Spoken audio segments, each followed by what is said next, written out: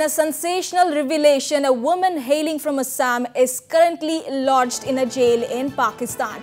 Well, the woman identified as Wahida Begum hails from Nagaon in Assam and the news of her imprisonment in Pakistan reached her family in Assam from Pakistan via the Indian embassy.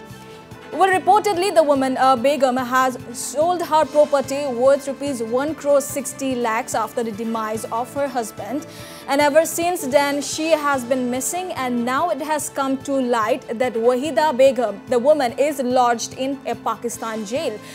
And it is not just Wahida, but her infant son is also with her in Pakistan. And moreover, Wahida's mother is currently in Delhi, where she has approached Delhi High Court to ensure the return of her daughter. Wahida Begum. And reportedly, uh, Wahida was arrested in Pakistan on November 25 and her mother got to know about it via WhatsApp. And the Delhi High Court is going to hear the case on Friday and noteworthy here is that Wahida's father, Yunus Ali Thakuria, is a retired police personnel in Assam. Well, uh, viewers, it's a big breaking story at this point of time. In a sensational revelation, a woman hailing from Assam's Nagaon is currently lodged in a jail in Pakistan.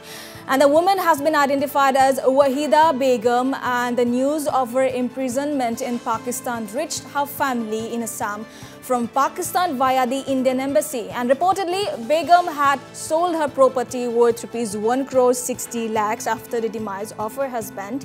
And ever since then, she has been missing. Now it has also come to light that Wahida is lodged in a Pakistan jail. And, and it is not just Wahida, it's her infant son who is also with her in Pakistan. And uh, reportedly, Wahida's mother is currently in Delhi, where she has approached the Delhi High Court to ensure the return of her daughter Wahida Begum. And reportedly, Wahida Begum was arrested Pakistan, uh, in Pakistan on November 25 and her mother got to know about it via the WhatsApp.